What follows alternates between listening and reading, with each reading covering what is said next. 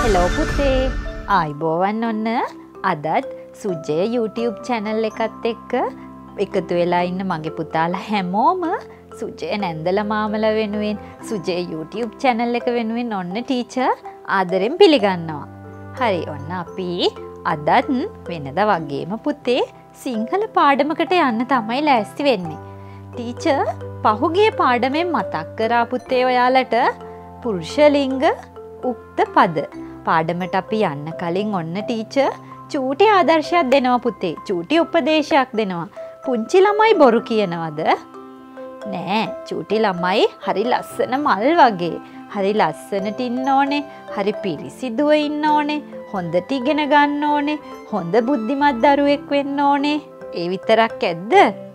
නෑ පුතේ හොඳ ගුණ යහපත් හොඳ දරුවෙක් වෙන්න ඕනේ එනම් මගේ පුතාලා හැමෝම හොඳ දරුව වෙන්න බුද්ධිමත් දරුව වෙන්න ඔන්න එහෙනම් ටීච පාඩම පටන් ගන්නවා. යමුද අපි පාඩමට මොකක්ද තියෙන පාඩම අපිට පුරුෂලිංග වගේම ස්ත්‍රීලිංග නාම පදයක් උක්ත වෙන විදිහ දැනගන්න. එහෙනම් අපි පාඩම ඔන්න පටන් ගමු. අන්න පුතේ ටීච කවුද? ටීච පිරිමි කෙනෙක්ද? ඈ පුතේ ටීච පිරිමි කෙනෙක් වගේද පේන්නේ? නෑ ඔන්න ටීච ගැහැණු කෙනෙක්. ඒ කියන්නේ ස්ත්‍රීලිංග කෙනෙක්. ටීච ස්ත්‍රීලිංග කෙනෙක්. එතකොට අම්මා අම්ම කවුද? අම්මත් ස්ත්‍රීලිංග කෙනෙක්. ඔයිට අමතරව අපිට පේන ස්ත්‍රීලිංග නාමපද ටිකක් කියන්න බලන්න පුතේ. මතක් කරන්න ටීච නාමපද කියලා දුන්නා පුද්ගල නාමපද කියලා දුන්නා ඒක වචන බහු වචන ඕ දැන් හැම දේම දන්නවා මගේ පුතාලා. දැන් ස්ත්‍රීලිංග නාම පදත් ඉගෙන ගත්තා. ඔන්න ඔය ටිකක් අපි කතා කරමු බලන්න පුතේ. කියන්න බලන්න කිරිල්ලියෙක් ඉන්නවා. මේ කිරිල්ලි ස්ත්‍රීලිංගද පුරුෂලිංගද. ස්ත්‍රීලිංගයි පුතේ. අපිට පේන මේ අම්මලා ගුරුතුමිය මේ අය විතරක් නෙවෙයි පුත්තේ සත්ව ලෝකෙත් ඉන්නවා. ස්ත්‍රීලිංග සත්තු. නේද? දැන් ටීච අර අපි පළවෙනි පාඩමෙන් කතා කරා මතකද? සිංහයෙක් ළඟට ගියා. සිංහයා ළඟින් හිටිය කවුද පුතේ? සිංහ දේනුව. අන්න එහෙනම් සිංහ දේනුව ස්ත්‍රීලිංගද පුරුෂලිංගද? ස්ත්‍රීලිංගයි ඔන්න ස්ත්‍රීලිංග නාමපද එහෙනම් අපිට සත්ව ලෝකෙදිත් හම්බෙනවා. අපේ ලෝකෙත් තියෙනවා. මගේ පුතාල අතරත් ඉන්නවා ලස්සන ස්ත්‍රීලිංග පිරිසක් නේද? හා එතකොට ඔය කට්ටිය එක්ක අපි යනකොට අපිට වාක්‍යයක් ලියද්දි පුතේ උක්ත පදයක් ඕනෙ වෙනවා. නේද? මතකද අපි කතා කරා පහුගේ පාඩම්වල ඔන්න ටීචර් පැහැදිලි කරපුවා තියෙනවා පුතේ. මතක් කරලා බලන්න උක්ත පදය කියන්නේ මොකක්ද? කොහොමද උක්ත පදයක් හඳුනගන්නේ කියන එක කතා කරලා තියෙනවා. අපි දැන් කතා කරන්නේ ස්ත්‍රීලිංග නාම පදයක් උක්ත වෙන විදිහ. නේද? චෝට්ටක් ටීච මතක් කරන්නද පුරුෂලිංග නාම පදය උක්ත වෙන විදිහ. ටීච මතක් කරන්නද ඔයාලා ටීචට මතක් කරනවද? අදැන් ඔන්න ටීච දන්නේ නැහැ. ටීච දන්නේ නෑ උක්ත පදයක් හැදෙන්නේ කොහොමද පුරුෂලිංග කියලා. මගේ පුතාල දැන් ටීචට කියලා දෙන්න ඕනේ. කොහොමද පුරුෂලිංග නාම පදයක් උක්ත වෙන තැනක් අපි අඳුරගන්නේ. අන්න රයිට් අවසානයට එක් කියන ශබ්දය ඇහෙනවා නේද පුතේ. ඔන්න ඔය එක් ශබ්දය වගේම ශබ්දයක් ඇහෙනවා ස්ත්‍රීලිංග නාම පදේත්. මොකද්ද? ස්ත්‍රීලිංග නාම පදවල පුතේ ඇහෙනවා අක් කියල ශබ්දයක්. මොකක්ද? අක් කියල ශබ්දයක්. ඔය අක්ශබ්දය ඇහෙනවා නං අවසානයේ එයා මොකද වෙලා තියෙන්නේ උක්ත වෙලා තියෙනවා. ටීච පෙන්නන්නද? හා ඔන්න මේ බලන්න මවක් ගැහැනියක් ගුරුතුමියක් කිරිල්ලියක් මේ ඔක්කොගෙම අවසානට හෙන්නෙ මොකක්ද පුතේ. මොන ශබ්දයද. අක් කියල ශබ්දයක් අඳුරගන්න පුළුවන්ද. හොඳට බලන්න ආය පාරක්. මවක් ගුරුතුමියක් ගැහැනියක් ඕවගේ අවසානයට උක්කකුරෙන් ඉවර වෙලා තියෙනවා අවසාන ශබ්දයක් ඇහෙනවා මොකක්ද අක් කියලා. පැහැදිලිද හා ඔන්න ඔය ශබ්දය එක්ක එනවා නම් පුතේ ස්ත්‍රීලිංග නාමපදයක එයා මොකද වෙන්නේ උක්ත පදයක් වෙනවා. උක්ත පදය කියල කිව්වනේ අපි මොකක්ද. ක්‍රියාව කරන කෙනා පුතේ උක්ත වෙන්න ඕනේ. එහෙනම් දැන් අපි උක්ත පද ටිකක් කතා කරලා බලමු. සත්ව ලෝකෙට යන්ද අපි. හා සත්ව ලෝකෙට ගිහිල්ල මේ සත්තුන්ගෙත් ඉන්න ස්ත්‍රීලිංග පද ටිකක් අපි හොයාගමු. ඔන්න කුරුල්ලෙක් ඉන්නවා. මේ කුරුල්ලගේ ගැහැන සතා කවුද? කිරිල්ලි. හා එයා උක්ත කරමුද අපි? කිරිල්ලි යක්. මොකද්ද? කිරිල්ලි යක්. අවසානයට ඇහෙන්නේ මොකද්ද? අක්ෂබ්දය. අක්ෂබ්දය ඇහෙනකොට එයා මොකද වෙලා තියෙන්නේ? උක්ත වෙලා තියෙනවා.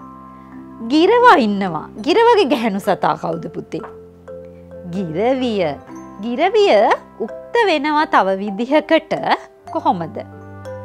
දැන් ටීච මතක් කරා ශබ්දයක් ඇහෙනවා අක් කියලා. නේද ඔය අක්ෂබ්දය අපි ගිරවිටත් දෙමුද. රයිට් එහෙනම් ගිරවී ගිරවී යක් වෙනවා. පැහැදිලිද ගිරවි යක් වෙනවා. ඉට පස්ස අපි ඔන්න කුකුලා ඉන්නවා.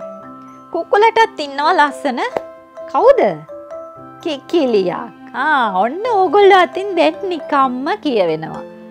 නේද කුකුලෙක් ඉන්නවා ඔන්න ටීච කිව්ව ලස්සන යාට ඉන්නවා කවුද කෙකිලියක්කා ඔන්න දැන් සත්ත ලෝකෙට ගිහාම ටීච යංකිව්වනේ සත්ත ලෝකෙට ඔය සත්ත ලෝකෙ ඉන්නවා ලස්සන ඇගේ තිත්තිත්තිත්තිත් තියෙන සත්තෙක් කවුදේ මගේ පුතාල දන්නවා. කවුද? මුවා. මුවාටත් ඉන්නවා ලස්සන මුව දෙනකා. මුවාගේ ස්ත්‍රීලිංග පදය කවුද? මුව දෙන. එයා උත්ත කරන්නේ කොහොමද?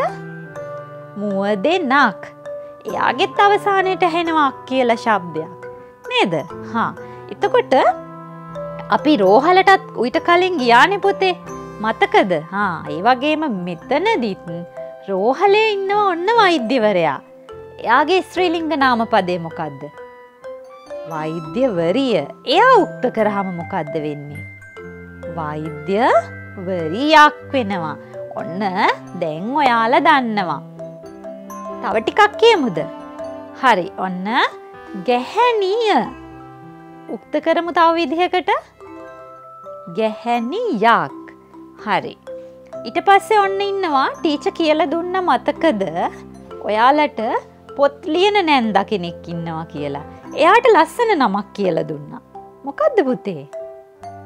ලේකිකාව අන්න රයිට් ලේකිකාවත් උක්ත කරමුද තව විදිහකට. ලේකිකාවක් දැම්මගේ පුතාල දන්නවා ස්ත්‍රීලිංග නාම පදයක් උක්ත කරන්නේ කොහොමද කියලා. කොහොමද උක්ත කරන්නේ. අක් කියන ශබ්දය අවසානයට දානවනං එයා උක්ත වෙලා තියෙනවා. එහෙනම් පුරුෂලිංග උක්ත පදේ එක් කියන ශබ්දයෙන් ඇහෙනවා ස්ත්‍රීලිංග උක්ත පදය අක් කියන ශබ්දයෙන් ඇහෙනවා. හරි ලේසී පුතේ අක් එක් උක්තයි කියල මතක තියාගත්තනම් හරි. කාවද උක්ත වෙන්නේ? අක්කවද? නෑනෑ අක් එක් උක්තයි. අක්ෂබ්දය සහ එක් ශබ්දය. අක්කාගෙද? ස්ත්‍රීලිංග පදය එක්කාගෙද? පුරුෂලිංග පදේ එනම් දැම් පැහැදිලිද? අක් මේ පැත්තෙ තියෙනවා එක් මේ පැත්තෙ තියෙනවා. ඔන්න එක් උක්ත වෙනවා. කාටද?